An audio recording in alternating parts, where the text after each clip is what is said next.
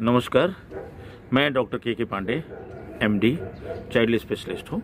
दिल्ली में प्रैक्टिस करता हूँ। बहुत सारे लोगों के सवाल है कि ये कहाँ से आया, कब तक रहेगा आरएनए क्या होती है म्यूटेशन क्या होता है वैक्सीन कब तक आएगी ट्रीटमेंट इसका क्या है प्लाज्मा थेरेपी सुना है बड़ा अच्छा होता है, ये क्या होता है? और सबसे बड़ा सवाल एक पेशेंट ने पूछा कि डॉक्टर साहब, हमने तो टीवी पे देखा था कि ये ज़िंदा ही नहीं होता। तो ज़िंदा जब नहीं होता तो इतनी सारी जिंदगियाँ कैसे ले रहा है? इन्हीं सारों, सारे सवालों के जवाबों के साथ आज मैं आपके सामने हाजिर हूँ। तो ये वायरस नया नहीं है।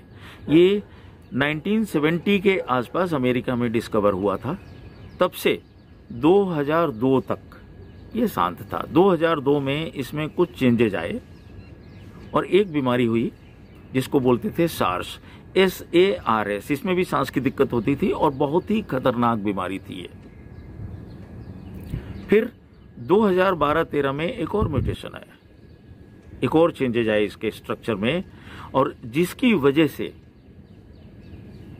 ये मिडिल ईस्ट में जो लोग थे, उनको ये बीमारी हुई। उसको बोला गया M E R S MERS खास बात ये थी कि मर्स जो है चिड़िया में और मैमल्स में अस्तनधारी जो जानवर हैं उनमें भी ये पाया गया।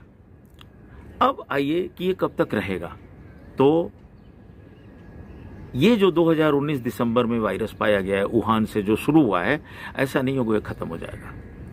ये हमेशा हमारी आपकी ज़िंदगी में रहेगा। हाँ इसकी वैक्सीन आ जाएगी और सब चेंजेज होंगे, लोगों में प्रतिरोधक क्षमता आ जाएगी तो फिर कोई बाद में इतना खतरनाक या इतना डरने की बात नहीं होगी। लेकिन ऐसा नहीं हो कि, है कि ये वायरस खत्म हो जाएगा। अब आइए आपके इस सवाल का जवाब, कि ये ज़िंदा नहीं है तो जिंदगियाँ कैसे ले रहा है? ये वायरस जो होता है, ये एक तरह से टेम्पलेट है। टेम्पलेट का मतलब हिंदी में बोले तो सांचा। जैसे प्लास्टिक की कोई चीज़ें होती हैं। अब प्लास्टिक की चीज़ में उसका जो सांचा होता है, उसमें आप डालते चले जाए तो उस सांचे से बहुत सारे खिलौने, बहुत सारी चीज़ें आप बनाते चले जाएँगे। जो सांचा होगा, उसके हिसाब से, लाखों की संख्या में, करोड़ों की संख्या में, ज़रूरत के हिसाब के, आपके बिज़नेस के हिसाब से आप वो चीज़ें तैयार कर सकते हैं। घर में आप देखते हैं गुजिया बनाने का भी आजकल सांचा मिलता है। इडली बनाने का भी मिलता है। तो उसी तरह से ये ये एक सांचा है। जब तक पड़ा हुआ है, कुछ नहीं करेगा। लेकिन जिस दिन ये शरीर में पहुँच गया और इसका जो रिसेप्टर्स होते हैं, ये काम करता है लंग्स में पहुँचने के बाद। तो लंग्स में पहुँच गया, फिर ये बहुत तेज़ी से बढ़ता है, उसको हम लोग बोलते हैं रिप्लीकेशन करोड़ों अरबों की संख्या में पहुँचते हुए इसको देर नहीं लगती और तुरंत तब बीमारी की शुरुआत शुरू हो जाती है। अब आते हैं कि दिसंबर 2019 में जो ये कीटाणु शुरू हुआ, ठीक है? फेब्रुवरी तक जो स्ट्रेन्स इसके पाए गए, जो इसके जो जेनेटिक स्ट्रेन पाए गए तो आरएनए का, इसमें बदलाव जो नया आया है, इसको बोला गया, इसमें डोमिनेंट जो था, ग्यारह तरह के थे ये। लेकिन ग्यारह में जो सबसे ज़्यादा डोमिनेंट था, जिसकी वजह से ज़्यादा बीमारियाँ हो रही थी, वो था ए टू ए स्ट्रेन ये फेब्रुवरी तक चला। मार्च 20 में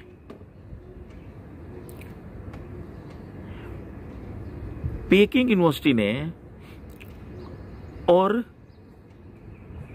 पास्चर इंस्टीट्यूट संघाई ने ये बताया कि इसमें कुछ चेंजेज आए हैं और इसके दो स्ट्रेन और आए हैं, जो एल है और एस है। एल स्ट्रेन और एस स्ट्रेन की बात आप ऐसे समझें कि जैसे ये वायरस है तो इसको आप एक मोतियों की माला समझ लीजिए। सिंपल लड़ी, दो नहीं, दो अलग हो जाती है, वो बाद में कभी। तो उस लड़ी में ये आरएनए हो जाता है। जब ये वायरस की एक लड़ी बन गई तो वो आरएनए हो जाता है। और जो एक एक उसकी जो मोती होती है, उसको जीन्स बोलते हैं। तो इसमें बदलाव आ गया एल और एस करके। एल और एस में फ़र्क ये था कि एल ज़्यादा खतरनाक है और एल और एस में फोर परसेंट का डिफरेंस है। इसके बाद आइए अप्रैल 2020 22 अप्रैल। 22 अप्रैल को जिंग झाओ यूनिवर्सिटी है। वहाँ की एक पीयर रिव्यूड रिपोर्ट ये नहीं है, एक रिपोर्ट है। उसमें ये बताया कि ये वायरस सिर्फ़ 11 तरीके के नहीं है। इनमें बदलाव बहुत आ चुका है, ये 30 तरह के हैं। और उसमें से 19 का अभी तक कहीं कोई ज़िक्र ही नहीं था, किसी को इस बारे में पता ही नहीं था। तो इनके नाम A B B one A one B B two ऐसे करके ये इनके नाम रखे जाते हैं और उस तरह से होता है। ये यूनिवर्सिटी की रिपोर्ट ये भी थी, इन्होंने इसको ग्रो भी किया और ये देखा कि जैसे किसी मरीज़ को अगर हल्के सिम्टम्स हैं, हल्की बीमारी है तो उसमें मान लीजिए एक लाख कीटाणु। मैं एग्ज़ाम्पल बता रहा हूँ। लेकिन अगर कोई सीरियस है, उसको जान का खतरा हो रहा है तो उसमें ये पाया जाता है कि उसमें साठ गुना ज़्यादा कीटाणु हो जाते हैं। इसको वायरल लोड बोला जाता है।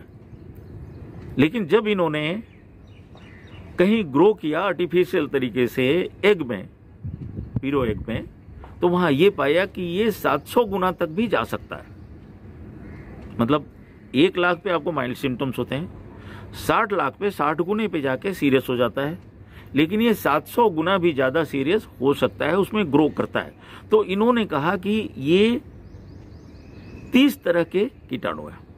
अब आइए एल और एस पे फिर से। गुजरात में और इंदौर में ज़्यादा लोगों की मौत हुई। 4.97 परसेंट इंदौर में हुआ था 4.57 परसेंट गुजरात में हुआ।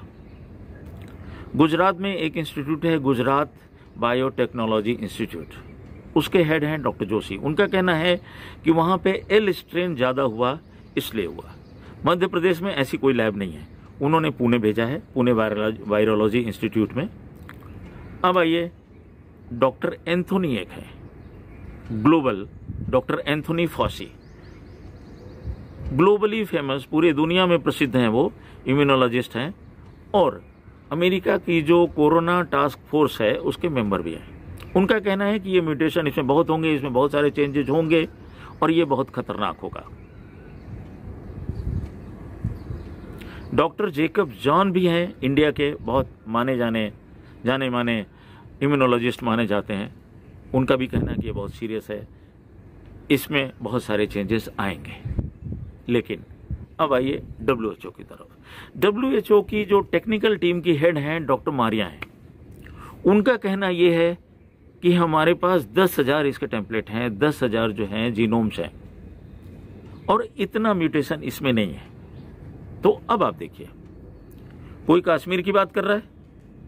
कि तीस तरह के हो गए। कोई कन्याकुमारी की बात कर रहा है? कि साहब, ऐसा कोई बात ही नहीं है। कोई गुजरात के कक्ष की बात कर रहा है? कि साहब एल और एस स्ट्रेन जो बहुत ज़्यादा हो गए। कुछ बंगाल की खाई की बात कर रहा है? कि साहब, ऐसा कुछ होता ही नहीं है।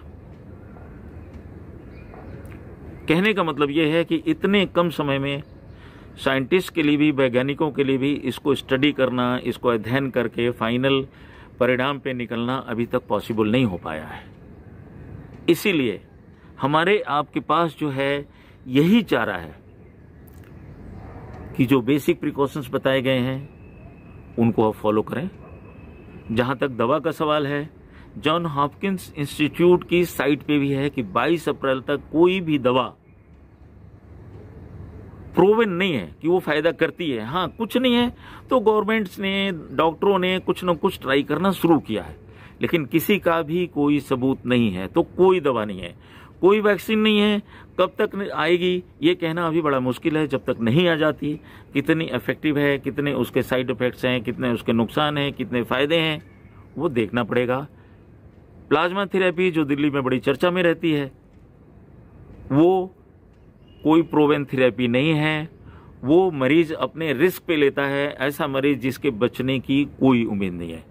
तो अल्टीमेटली अंत में आपके लिए यही बचता है मास्क छः फीट की दूरी और ध्यान रखें, मास्क लगाना और छः फीट की दूरी